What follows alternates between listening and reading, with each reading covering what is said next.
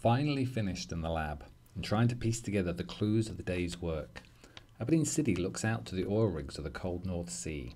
The twilight cycle ride back home from the university passes the streets of an old city. Majestic granite buildings loom above, and a silhouette on blurred wheels travels down from forest to hill, and I'm alone with my thoughts, which play with the idea what new drugs might cure Alzheimer's disease?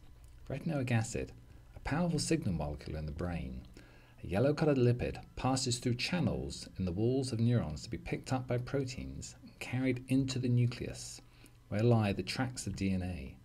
Retinoic acid and its receptor sets a train in motion along those DNA tracks, making RNA message entering the machinery of the ribosome to make proteins commanding the cell. Everyone knows this part of the story, or almost everybody. There's another lesser known addition to the story, though, where retinoic acid also sends an important message to the cell through a cascade of proteins called kinases. Drugs have not been optimized to trigger both pathways. If we have versions of retinoic acid that do both, might these have the greatest effect on the brain? Is this a eureka moment?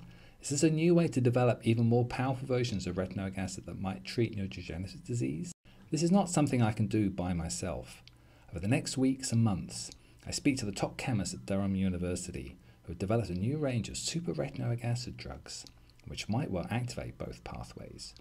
Drugs like EC23 do exactly this, and these new drugs strongly induce neurons to grow and repair damage.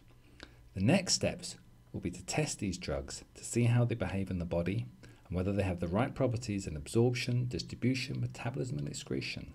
If all these are right, we may then have a new cure for neurodegenerative disease.